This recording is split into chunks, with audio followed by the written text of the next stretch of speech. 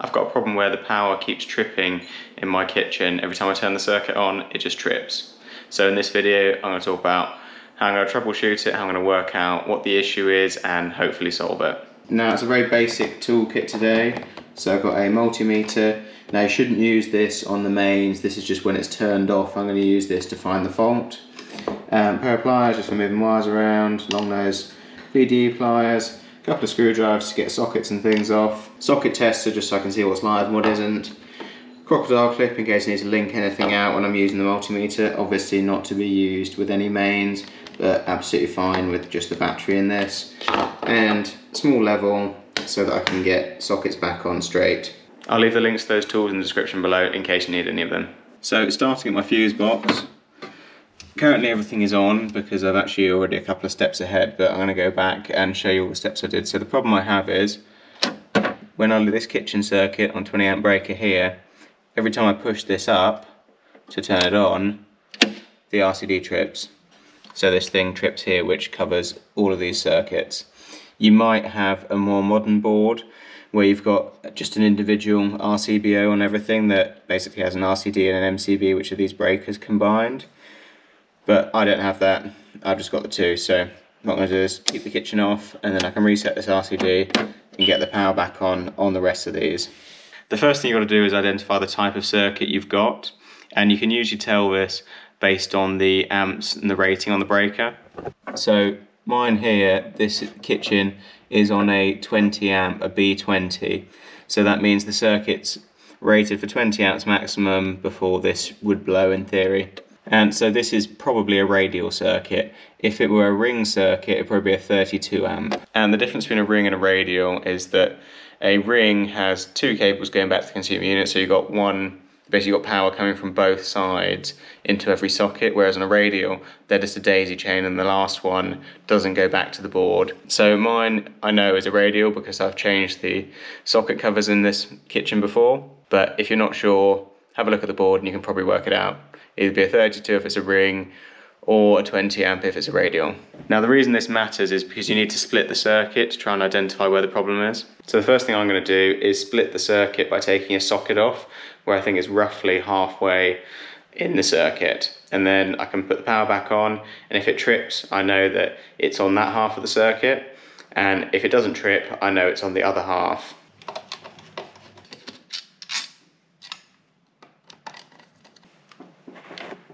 So you can see this is part way in the middle of the circuit because you've got two cables going in and out. So what I'm going to do is just remove both of these. So I'm effectively splitting the circuit up. And then I'll put the power back on and see if it trips or not. So now I've got all the cables separated so that when I put the power back on, I know that it won't go any further than this socket, but the incoming on these will still be live. What I'm going to do is flick this breaker back up, and if this RCD trips, I will know that the fault is on that half rather than the later half of the circuit. So I flip that up. Okay, it hasn't tripped, so I know the fault is in the later half of the circuit. So what I'm going to do is go and do the same thing and split the circuit further down. But first I'm going to reconnect that socket so that the power can continue. So I've got this socket reconnected, just going to screw it back on and I like to use this mini level just to make sure it's level. So I've got this socket back on, nice and level and screws vertical is my preference but I know it's not everyone's bag. So the next thing is to split the circuit somewhere else. This is our utility room, so we've got a washing machine, tumble dryer, and I had suspected that the fault might be in here, where the washing machine had previously tripped a few weeks back, and we've also got an outdoor socket spurred off here, and we've had quite a bit of rain, potentially some water in there that could also be causing it to trip. So I'm going to split the radial just before that to see what happens and hopefully see which bit of this the fault is on. So in here I just have this fuse spur and this is so that I can switch off the socket outside and this is just a spur off the radial. So what this is with these Wagos is I've split the circuit so these exposed cables here are the other end of the radial and what I've done is I've wired in with Wagos the outdoor socket and so now when I turn the RCD on if it trips I know it's probably this outdoor socket if it doesn't trip I know that it's the sockets that power these two so now I'm just to go and try the RCD, see what happens. So turn it back on and the RCD hasn't tripped. So most likely it's the washing machine or tumble dryer. So now power's back on and the power going through these Wagos. So the outdoor socket on the other side of this is wired in, but these two, well these three cables here, this single cable and these three cores, goes off to the washing machine and the tumble dryer over there. Now to check it's not the appliances themselves that are causing the problem, what I decided to do was run an extension lead from another circuit in the house that isn't tripping and just plug them both into that and see if it trips out that. And it doesn't so I know it's not the appliances. So I know it must be either the single socket that's behind there or there's two single sockets that power these two. And then there's an isolator, double pole isolator switch in the back of this cupboard. So I'm gonna have to pull these two out and have a look at the sockets and the isolator and see what the problem is.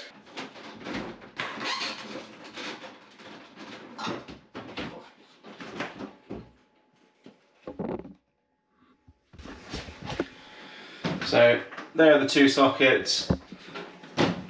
Also another one down the side here. And then there's double pole switch. I'm not going to move this cupboard out. If I have to, I'll just cut a hole in the back. now if you've got a condensing tumble dryer and you haven't got the condensate pipe plumbed, absolutely worth doing it rather than to drain it all the time. So I'm to get these two sockets off and this one down here and to see if there's anything obviously wrong. And hopefully if there is, I can sort it and we'll get the power back on. Now we might have just found our issue. So not sure how easily you can see it on camera, but this cable here has been damaged, as has this earth here, and it looks like they've been damaged on this top, top lug that they've scratched, and it looks like it's worn away the sheathing on the cable there, and possibly, it looks like just there, there might be a tiny bit of copper exposed. Now I'm wondering if this has caused the issue. But now they're all separated, and to get the power back on and see, with them separated, do we still get the trip? So I've just stuck these Wagos on here.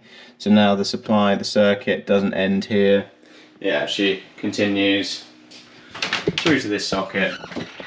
So I'm just going to go and turn the power on and see if it flicks off. RCD up.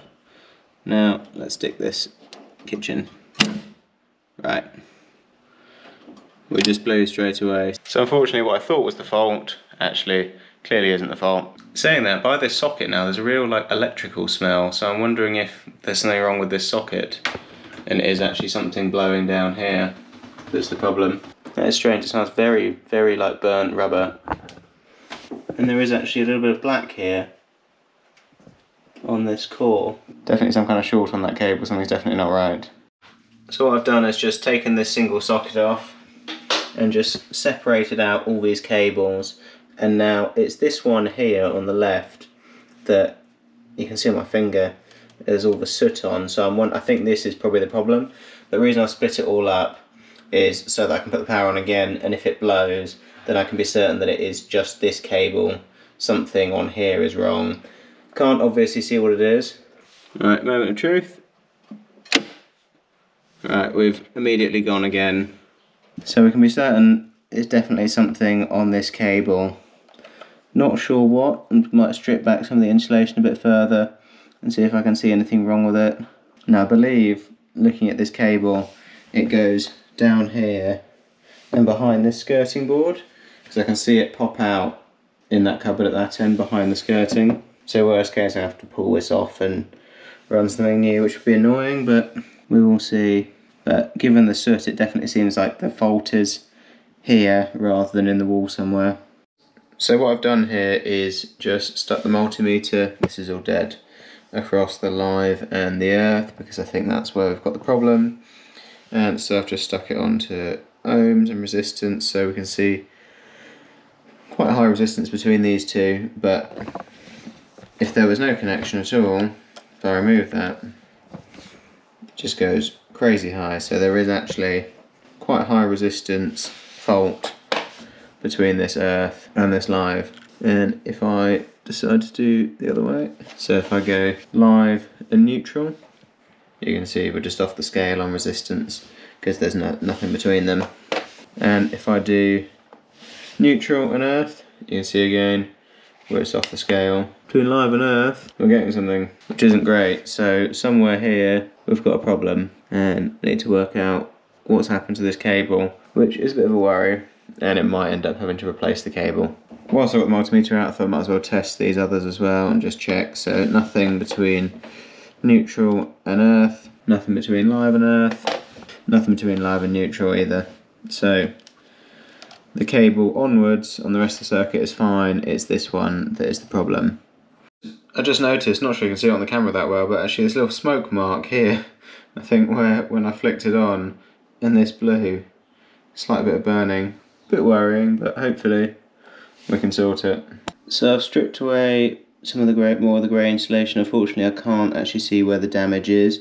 I think it must be that we've got an earth, live, short bit of damage somewhere just underneath here. Not sure how, but the damage must be down here because it's burnt and smoked up here. So it must be close, so I would have thought somewhere around here. But we found the fault. Now, I'm not going to fix it in this video, I'm going to make the fix a separate video. But this was just a quick one on how you can find a fault using just your multimeter and RCD as it already is. So if you enjoyed this video, please like and subscribe for more, and thanks for watching.